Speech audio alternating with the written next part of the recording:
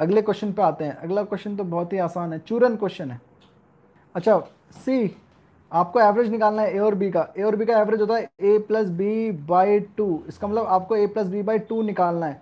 अगर आपको A plus B आ जाए तो आप अपॉन टू कर देंगे you will get the average A plus B by two is nothing but average of A and B तो आपको दिया क्या है? आपको एक इक्वेशन दी है that fifteen A plus fifteen B is equal to one zero eight तो यहाँ से फिफ्टीन अगर आप कॉमन ले लोगे तो ए प्लस बी कितना जाएगा? वन ज़ीरो एट और यहाँ से ए प्लस बी कितना जाएगा? One zero eight upon fifteen ठीक है? तो ए प्लस बी की वैल्यू आ गई, इसको उठा के रख दो।